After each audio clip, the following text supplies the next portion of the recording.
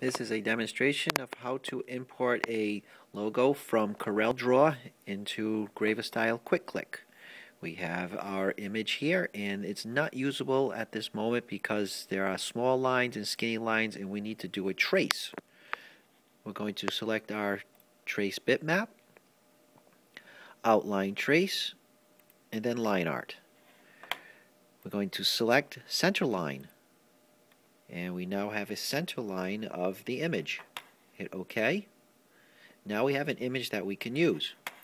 We're going to File, and we're going to export the image as a DXF file, and we're going to call this Cook. We're going to export, and we're going to replace it, yes. And we're going to do unfill, and we're just going to do it as inches in AutoCAD 2007. We're going to hit OK. We're next going to come to our Gravistyle. We're going to right click in our ABC page and we have our import function. From here we're going to select a DXF file which we just outputted. Going to find the import called cook, open, import.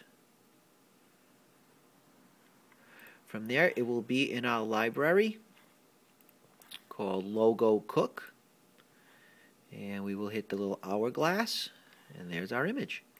We'll click there. Hit the X. There's our image. From this image we'll now take it and we will engrave.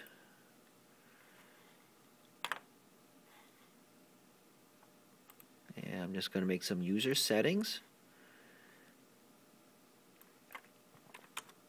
This is the retraction height of the head mean, there's no need to go up any higher than this, 0.08.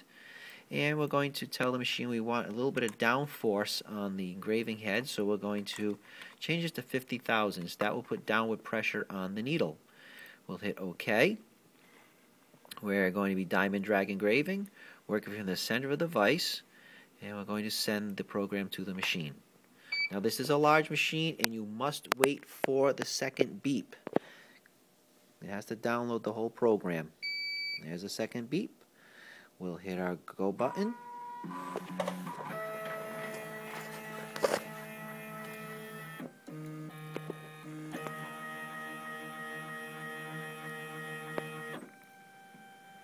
This is the Gravograph IM4 engraving machine.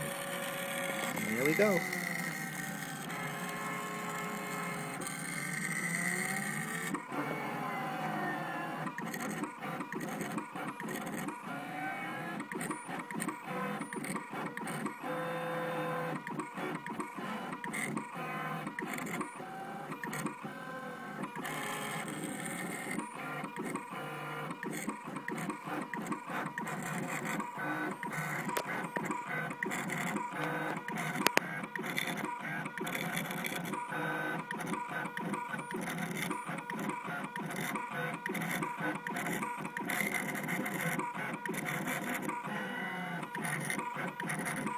What is engraving is anodized aluminum from Chewbarka's tags, and this is one of our luggage tags.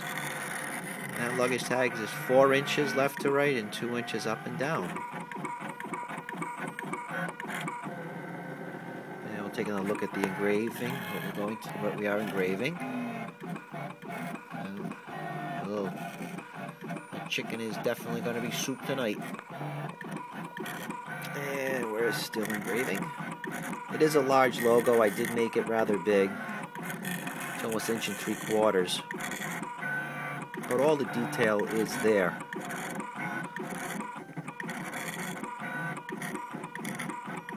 It's working on the chef's body right now.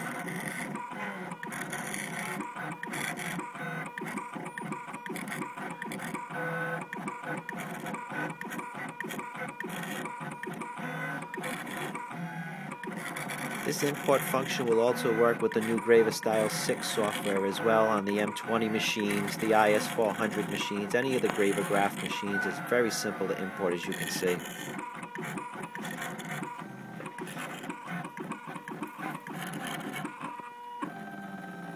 I think we're done.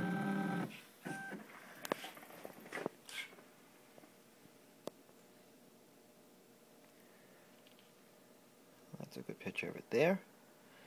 And there's your demonstration of how to import line art into QuickClick.